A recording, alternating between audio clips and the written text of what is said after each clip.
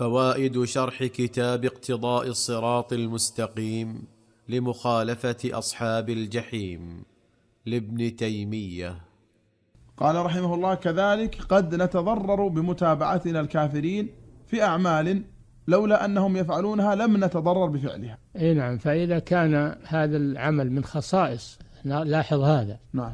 وما هو بالنهي عن مجرد العمل آه، لذاته وإنما كما سبق لما يترتب عليه فإذا كان هذا العمل أصله مباحا لكن صار أكثر من يتعامل به ويسير عليه هم الأعداء والمخالفون.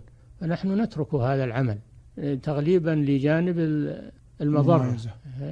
تغليبا لجانب المضرة لأن درء المفاسد مقدم, مقدم على جلب المصالح. نعم. قال وقد يكون الأمر بالموافقة والمخالفة لأن ذلك الفعل الذي يوافق فيه أو يخالف متضمن للمصلحة أو المفسدة ولو لم يفعلوه.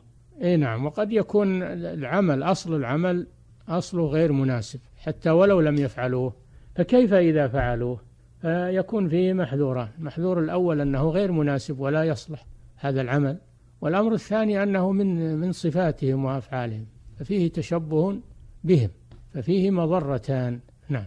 يعني إما أن يكون التشبه في أمر مباح لكنه نهي عنه لأنهم فعلوه. لأنهم غلبوا عليه. غلبوا عليه. وصار من سماتهم وعاداتهم. أو يكون النهي لأن الأمر في أصل أصله مفسدة ثم أيضا غلبوا عليه. أي نعم فيكون فيه مضرتان. الأول فيه مضرة واحدة. بذاته. أي نعم والثاني فيه مضرتان. قال رحمه الله لكن عبر عن ذلك بالموافقة والمخالفة على سبيل الدلالة والتعريف. نعم. فتكون موافقتهم دليلا على المفسدة ومخالفتهم دليلا على المصلحة.